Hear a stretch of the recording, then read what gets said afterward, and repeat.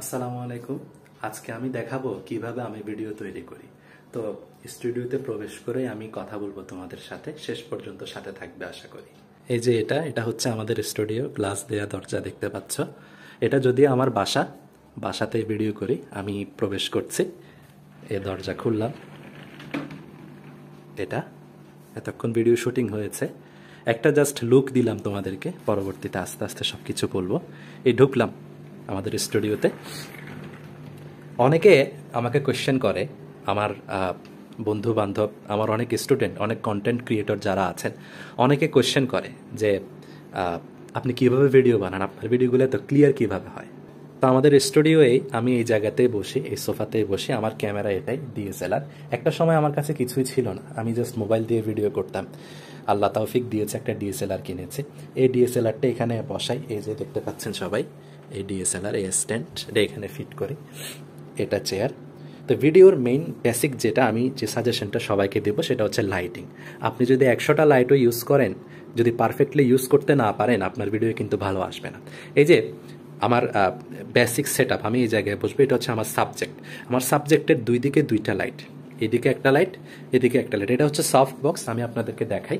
হ্যাঁ এটা জাস্ট আমি হাতে বানানো। আমার এখানে যা কিছু আছে সব কিছু হাতে বানানো। অনেকে মনে করে আমার স্টুডিও একদম প্রফেশনাল স্টুডিও নাটক সিনেমা শুটিং যেভাবে করো, ওরকম স্টুডিও ওরকম কিছুই না। এটা জাস্ট এই চারদিকে চারটা বোর্ড দিয়ে আমি মাঝখানে দুইটা লাইট দিয়ে একটা সফট বক্স বানিয়েছি, যাতে আমার এদিকে আমার ফেস বরাবর লাইটটা ঠিক মতো আসে। ঠিক আছে? এই একটা সফট বক্স এটাকে কি লাইট বলে।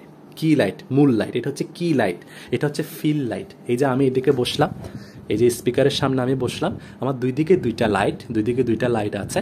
এটা, এটাও আমি হাতে বানানো, দেখো সবাই। এই যে একটা পাইপের উপর এভাবে একটা লাইট দিয়ে সুন্দর করে সেট আপ করেছে, এদিকে একটা লাইট হ্যাঁ?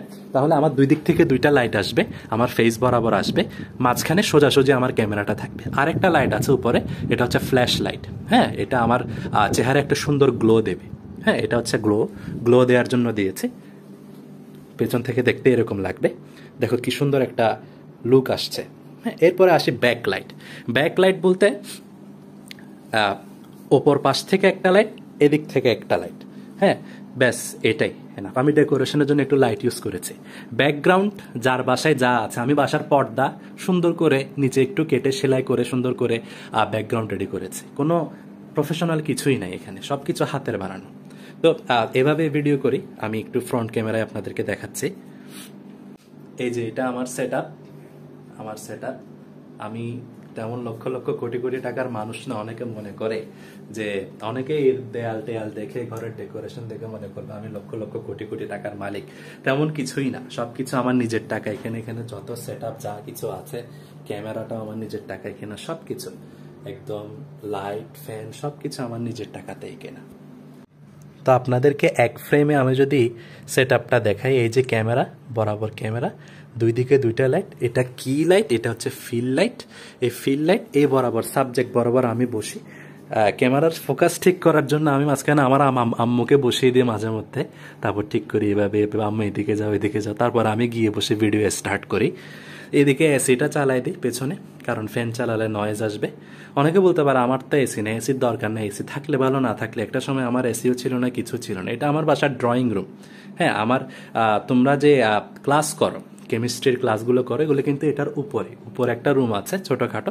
ওটা হচ্ছে এডুকেশনাল স্টুডিও এখানে মোটিভেশনাল ভিডিওগুলো এভাবে করি। তো দেখলা সবাই, হাতের কাছের জিনিস দিয়ে এগুলো সব দোকান থেকে কিনা লাইট আমার কোনো স্ট্যান্ড লাইট নেই, কিছুই নেই। এভাবে করেও ভিডিওগুলো কিন্তু সুন্দর করা যায়। এদিকে একটা এই সফট বক্সটা হাতে বানানো সব কিছু এই রিং লাইটটা হাতে বানানো। এই রিং লাইটটা কিনা, কিন্তু আমি সেট করেছি নিজের মতো করে। রিং লাইটের স্ট্যান্ড দিয়ে ডিএসএলআর ফিট করছি। আলাদা কোনো স্ট্যান্ড কিনতে পারে না এই ক্যামেরার জন্য।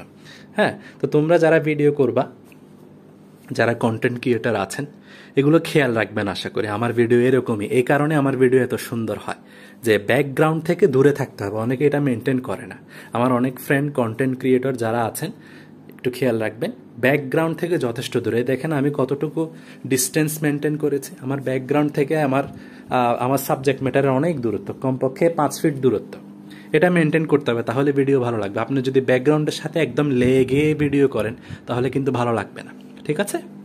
তো এখানে লাইট কয়টা? আমি একটু দেখাই আপনাদেরকে। একটা লাইট দুইটা, তিনটে। এটা আমার বাসার লাইট এগুলো আমি গোনায় ধরতেছি না। বাসায় আছে বলে লাগে, জ্বলাই দিছি। এগুলো বাসার লাইট আমার লাইট কয়টা? এক, দুই, এই তিন, চার। এই দুইটা মিলে একটা সেট এই চারটা লাইট ঠিকভাবে স্থাপন করতে পারলে আপনার ভিডিও অবশ্যই সুন্দর হবে। আপনি যদি সবগুলো লাইট যদি শুধু সামনেই দেন, পেছনে নাই, পাশে নাই, কিছু নেই, তাহলে আপনার ভিডিও ভালো দেখাবে না। ঠিক আছে? তো আজকে হয়তো আমরা অনেক ছোট, আজকে হয়তো আমাদের পরিবারটা তেমন একটা বড় না। কিন্তু একটা সময় ইনশাল্লাহ আমরা অনেক বড় হব। একটা সময় আমার এগুলো কিছুই ছিল না। আমি শুধু মোবাইলের ক্যামেরা দিয়ে সুন্দর করে ভিডিও করতাম জাস্ট দুই একটা লাইট দিয়ে। এরপর আস্তে আস্তে আস্তে আস্তে যতই দিন যে আমি ক্যামেরা চালানো শিখেছি এভাবে লাইটগুলো কীভাবে কি করতে হয় ইউটিউবে স্টাডি করেছি। ইউটিউবে কিন্তু আমি নিয়মিত এগুলো নিয়ে ঘাটাঘাটি করি। তোমরা খেয়াল করবে, আমার ভিডিও প্রথম থেকে লাস্ট পর্যন্ত যারা দেখবে, আমার উন্নতিটা তোমরা নিজেরা খেয়াল করবে। যে প্রথমে আমাকে দেখতে কীরকম লাগতো আস্তে আস্তে আস্তে কত উন্নতি হচ্ছে।